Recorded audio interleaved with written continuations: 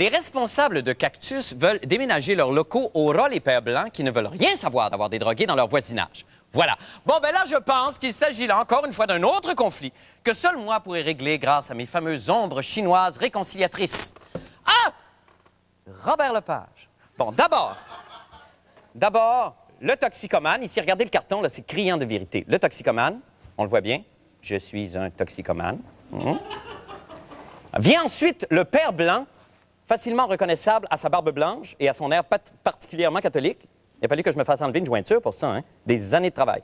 Ensuite vient la colombe de paix et sa famille. et là, le toxicomane, c'est moi, et le père blanc se serre la main. Ça, c'est pas au point encore. Et le conflit est réglé quand même.